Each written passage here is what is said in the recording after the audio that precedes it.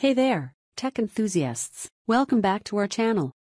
Today, we're tackling a common error that's been causing frustration, Intel VTX being disabled, preventing you from creating virtual machines. But don't worry, we've got your back. In this short video, we'll guide you through the steps to enable Intel VTX and get you up and running with your virtual machines in no time. So, let's jump right in and solve this problem together. Hit that like button if you find this helpful, and don't forget to subscribe for more tech tips. Let's go. First of all, let me show you the errors we may encounter while creating a virtual machine. I have installed VMware software for this purpose. Now, let me open the software. As you can see, I have created a virtual machine called NVR700, but it has not been booted yet.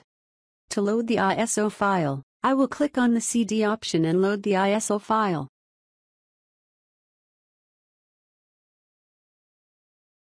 Once ISO file is loaded, I will power on the machine by clicking on the power on option. When I try to load the ISO file and power it on, we encounter the dreaded Intel VTX disabled error. Let's click OK and close the virtual machine for now. To resolve this issue, we'll need to access the BIOS settings.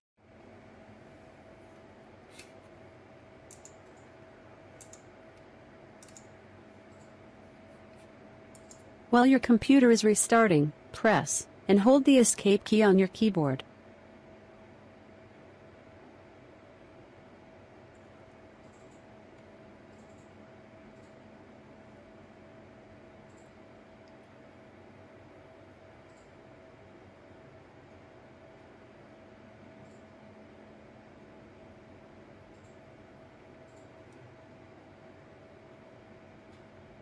This will bring up the startup menu.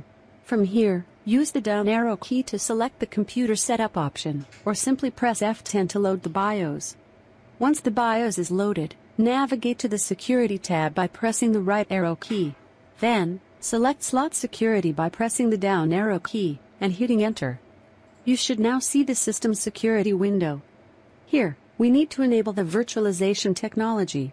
Use the arrow keys on your keyboard to navigate and select the options for enabling virtualization. Make sure both options are enabled. Once you've made the necessary changes, press F10 to accept them. Next, go back to the File menu and select Save Changes and Exit. Press Enter to confirm. Now, wait for your computer to restart completely.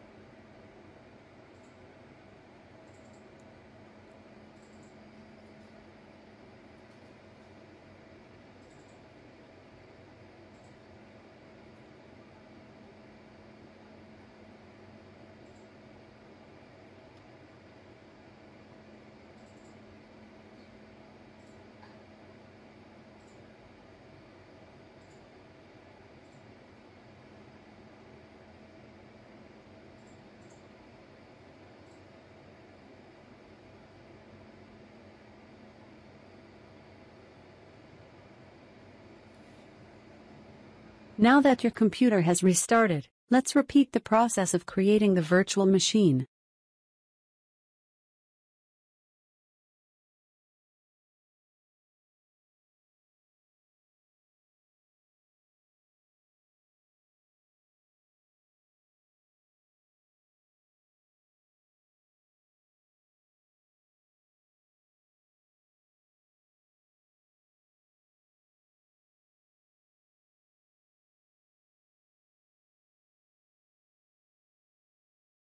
As you can see, this time, the ISO file starts booting without any errors.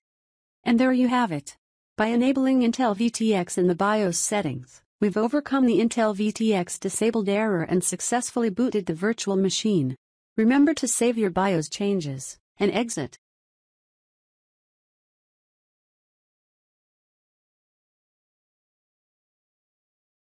Now, before we wrap up, I have some exciting news for you. If you're interested in diving deeper into virtual machine creation on both Windows and Linux, I've already uploaded a complete playlist on our channel dedicated to this topic.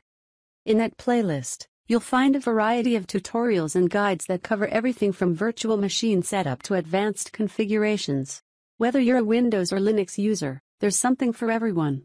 So be sure to check it out and equip yourself with the knowledge to master virtualization.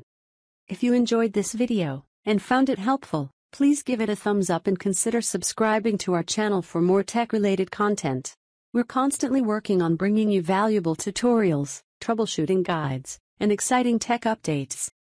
Thank you all for watching and for your ongoing support. Remember to explore the playlist for more virtual machine goodness, and as always, stay curious and keep experimenting with technology.